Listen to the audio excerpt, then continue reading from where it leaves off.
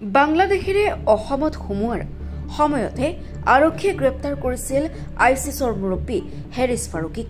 ভাৰতত জেহাদৰ সপোন দেখা ফাৰুকীৰ সৈতে জালত পৰিছে অনুৰাগ নামৰ ধৰ্মান্তৰিত হিন্দু সংগীও পিছে গ্ৰেপ্তাৰৰ পিছত ফাৰুকীৰ শৈক্ষিক ডিগ্ৰীয়ে চকু কপালত তুলিছে তদন্তকাৰীৰ।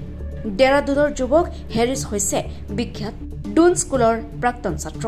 চহকী পৰিয়ালৰ সন্তানে অধ্যয়ন কৰা ডুন স্কুলত তেওঁ শিক্ষা গ্ৰহণ কৰিছিল।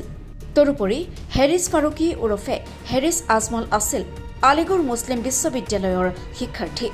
অধ্যয়নকালতে তেওঁ আলিগড় মুছলিম বিশ্ববিদ্যালয়ৰ সংক্ষেপে এ এম ইউত ছাত্ৰগোট স্থাপন কৰিছিল। অসম পুলিচৰ এছ টি এফৰ জালত পৰা হেৰিছ আছিল জনাজাত মেধাৱী ছাত্ৰ। অধ্যয়নৰ শেষত তেওঁ এ এম ইউত নিজা বিভাগত লাভ কৰিছিল শীৰ্ষস্থান। টপাৰ হিচাপে এ এম ইউত তেওঁক সন্মানিতও কৰা হৈছিল। সেইজন কৃতি ছাত্ৰই পিছলৈ হলগৈ।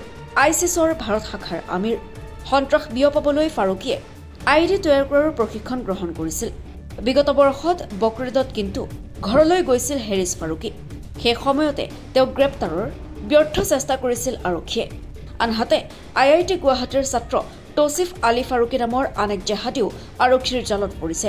আই চিছৰ সৈতে সম্পৰ্ক ৰক্ষা কৰা ফাৰুকী হৈছে গুৱাহাটী পাণবজাৰৰ নিবাসী। News desk বাৰ্তাইনী।